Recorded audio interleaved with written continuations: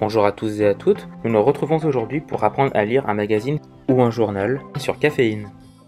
Une fois connecté, rendez-vous dans la section Tout le numérique, 24 h sur 24, puis allez dans la section Presse en ligne et cliquez sur le lien Caféine en bas du paragraphe. Une fois sur Caféine, vous serez automatiquement connecté à votre compte. Sur la page d'accueil, vous pouvez retrouver plusieurs catégories actualité, région, people et TV, technologie, automoto ou encore culture et savoir. Mais ce n'est pas tout. À droite de votre écran, vous trouverez le bouton Toute catégorie qui vous donnera accès à encore plus de sujets. Une fois que vous avez trouvé un magazine qui vous plaît, cliquez dessus.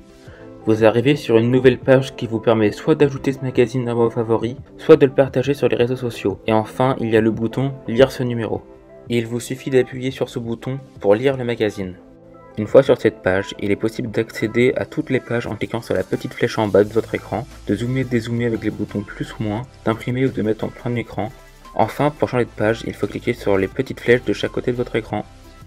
Voilà, c'est tout pour moi. Nous nous retrouvons pour un prochain tutoriel pour apprendre à écouter une histoire sur la souris qui raconte. Bonne lecture à tous et à toutes. Au revoir.